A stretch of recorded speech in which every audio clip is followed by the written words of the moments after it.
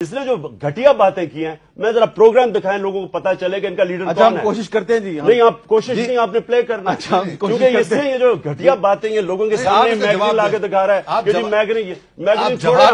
اور جواب میں آپ کی آپ کو شرم نہیں۔ آتی۔ یعنی آپ اتنے گھٹیا آدمی ہیں کہ اپنے آپ کو بچانے کے لیے گند اچھال رہے ہیں کسی کے اوپر۔ ایک قاتل ایک ٹریٹر ایک اس ملک جنرل مشرف۔ غصہ اس بات کی مجھے یہ کر جنرل مشرف نے خود کہا تھا کہ الطاف حسین اس ملک کا ٹریٹر ہے اور وہ ٹریٹر ثابت ہوتا ہے آپ کے پروگرام کے the decision of the subcontinent was the greater greatest blunder in the history of man it was not the division of the land but the division of the blood میں انڈیا کی government کی پوری team سے opposition سے یہ درخواست کروں گا کہ جو پاکستان کی اسٹیبلشمنٹ میں آج کے بعد اگر کوئی تانا مہاجروں کو ہجرت کرنے والوں کو یہ دے تو میں انڈیا کی حکومت اور انڈیا کے تمام اپوزیشن سے تمام ہیومن رائٹس پر بلیو کرنے والوں سے یہ ریکویسٹ کروں گا